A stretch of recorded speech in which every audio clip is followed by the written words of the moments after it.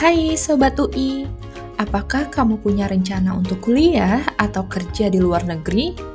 Tentunya kamu akan lebih mudah beradaptasi kalau kamu bisa berbicara dengan bahasa dari negara tujuan kamu.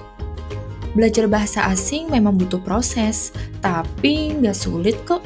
Apalagi kalau kamu ikuti 6 tip berikut ini. Saat Sobat UI memutuskan mau mempelajari bahasa asing, kamu harus menerima fakta kalau setiap bahasa punya karakteristiknya sendiri. Dan tentu bisa berbeda dengan bahasa ibu kamu. Misalnya, semua kata benda dalam bahasa Prancis punya gender, yaitu maskulin atau feminin, yang mungkin berlaku berbeda dengan bahasa lainnya.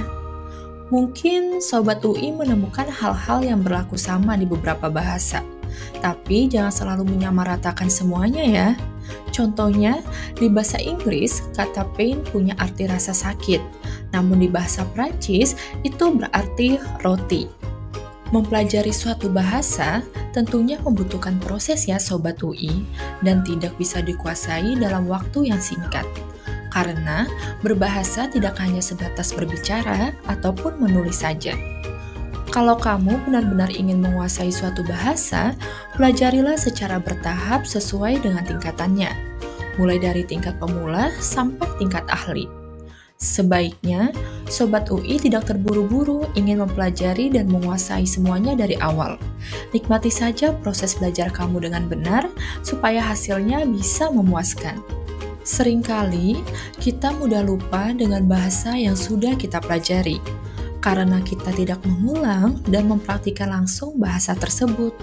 Apalagi saat kita tidak tinggal di negara asalnya langsung. Tapi, Sobat UI bisa loh menciptakan momen-momen dalam keseharian kamu untuk memaksimalkan penggunaan bahasa yang kamu pelajari ini. Misalnya, bergabung ke dalam klub belajar, menonton film, memanfaatkan beragam aplikasi seperti Afferent Effective Sings Moon untuk belajar bahasa Prancis, dan masih banyak lagi. Salah satu hal yang bisa menghambat Sobat UI saat belajar bahasa asing adalah perasaan takut salah. Apalagi saat kamu harus berbicara dengan penutur aslinya langsung. Wah, mungkin Sobat UI akan langsung merasa gugup dan panik. Tapi, kamu harus ingat ya Sobat UI, kalau melakukan kesalahan saat belajar itu normal banget loh.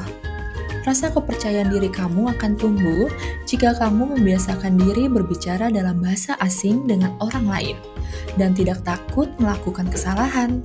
Jadi, jangan ragu mempraktikkan kemampuan berbicara kamu di setiap kesempatan yang ada ya. Bahasa dibentuk oleh masyarakat. Jadi, penting banget buat sobat UI sebagai pembelajar bahasa asing untuk mengenal masyarakat dan budayanya. Tentunya, ini bisa membantu kamu berkomunikasi dan menghindari kesalahpahaman saat berbicara dengan penutur asli. Misalnya, ada dua penyebutan pastry coklat dalam bahasa Prancis, pain au chocolat di Prancis bagian utara dan chocolatin di bagian selatan. Dengan belajar budaya, kamu juga bisa termotivasi untuk belajar bahasanya. Contohnya, banyak banget kan orang yang semangat belajar bahasa Korea karena menyukai budaya yang ditonton lewat film maupun dramanya. Jika Sobat UI sudah siap secara kemampuan bahasa dan finansial, jangan ragu untuk mengambil tes kemampuan bahasa resmi yang sudah kamu pelajari ya. Kamu bisa menjadikan ini sebagai sebuah pencapaian dari proses belajar kamu. Jika nilai kamu mencukupi, kamu akan mendapatkan sertifikat sebagai bukti resmi bahwa kamu sudah mumpuni berkomunikasi dengan bahasa asing tersebut. Dan tentunya akan memberikan bahkan memperluas kesempatan kamu untuk belajar dan bekerja di luar negeri. Bermanfaat banget kan Sobat UI? Belajar bahasa asing tidak sesulit yang kamu bayangkan kok. Jadikan pengalaman belajar bahasa asing kamu menjadi lebih seru, menarik, dan penuh motivasi. Dengan menerapkan tip-tip yang sudah dijelaskan sebelumnya ya.